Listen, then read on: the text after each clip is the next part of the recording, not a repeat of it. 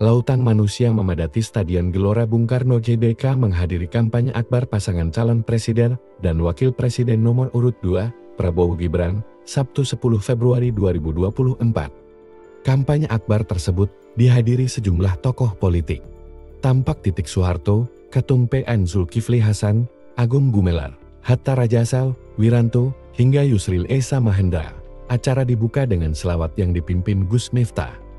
Mantan Presiden RI Susilo Bambang Yudhoyono juga hadir dalam kampanye akbar tersebut.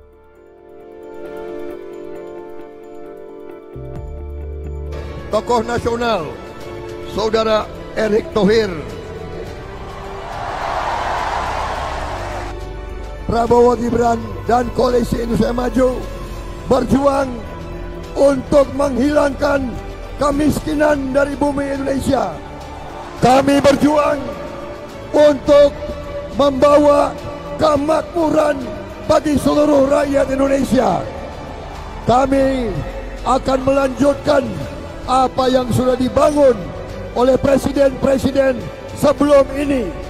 Kita berterima kasih kepada semua presiden yang telah bekerja untuk rakyat Indonesia. Luar biasa.